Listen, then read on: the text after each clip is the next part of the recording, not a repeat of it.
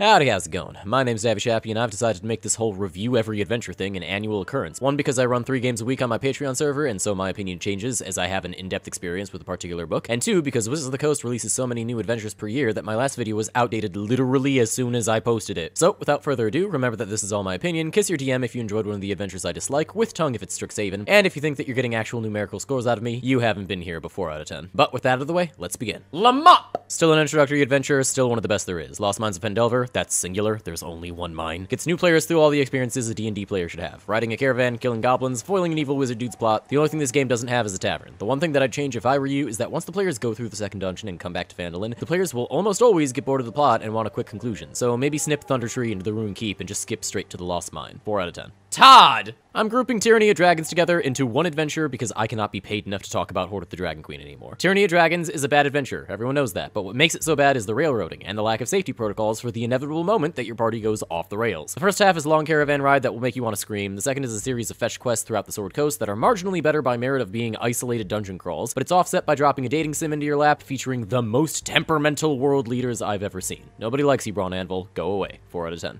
Pokta! I have not played Princes of the Apocalypse, and the only reason why that would change is if someone says a sentence never been uttered in English, namely, I want to play Princes of the Apocalypse. 4 out of 10. Uta! Unlike Pota, I have actually ran this one in between now and my last video, and I have to say, I really like it. It's linear, but it lies by having NPCs just suggest where to go next, and then treating it like the players came up with the idea, and the colorful cast of characters makes the otherwise dingy, stony caverns fill with life. I would recommend killing those characters, though, because not only does running so many NPCs give me schizophrenia, but the players will no longer have to fear their own deaths if they're scared that I'll take away their beloved Mushroom Boy. Easy characters to kill are Derendil, Ront, and Jimjar because none of them have to do with anything, and half of the other cast members will die at their own scripted times anyway. 4 out of 10. Costs! Or some say Cosm. This adventure slaps you and you will feel it. Everybody knows this is good. I don't need to tell you. 4 out of 10. STK! Okay, it's 7 months later and I can definitively say that wow, I do not like this story. The adventure aspect is fine, but I'm getting really tired of giants showing up to tell the party that something important is happening and then leading them directly where they need to go because they are the protagonists and all of giant kind apparently knows that. I've gotten over it by having most giants simply say, hey, I'm going this way, and then not refuse the players joining because they're small folk and who cares what they do. But the wizard man at the very beginning who parks his tower in front of the characters and says, get in losers, we're saving the world, can only be solved by instead saying that he's senile and kidnapping the party for no reason. Also, about 10 locations on this map tell you to buy another book if you want information about them, and the joke's on them because I already did. 4 out of 10. Tifitiapa! Tales from the Yawning Portal did not need to exist, but they did it for us. I only played half of the adventures, but all of them were like going back in time and running through hack and slash nothing burgers, in the best way. There was no greater story, just go in, disrupt the local populace, and get treasure. Looking at all these modern stories, it's easy to get lost in the weirdness, but I enjoy having this to fall back on and think of fond memories. 4 out of 10. Whoa!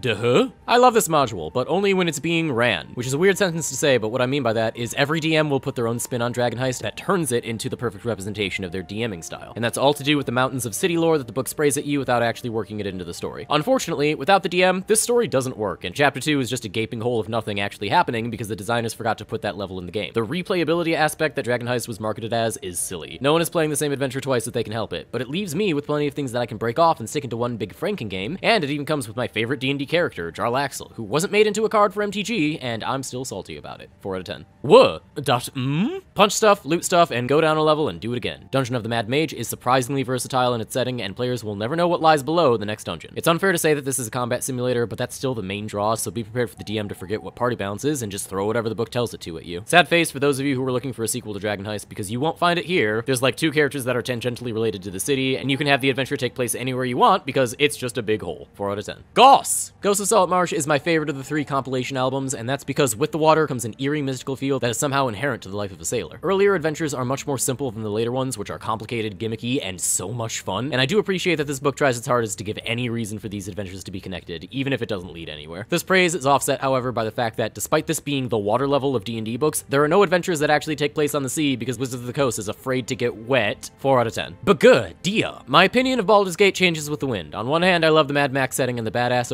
action that comes with tearing through the wasteland on the back of an infernal hell machine, but on the other hand, I find the plot to be a series of boring fetch quests where you have to go here to help this guy, but he says that he can only be helped if you go here and do this thing, but to do that thing, you have to go here and help this guy, and this guy can only be helped if you go here and do this thing, and what were we here to do again? 4 out of 10. Id. Ratfum. It's been seven months, and I'm still not out of ten towns. The cold is creeping in from all sides. We hear drums, drums in the deep.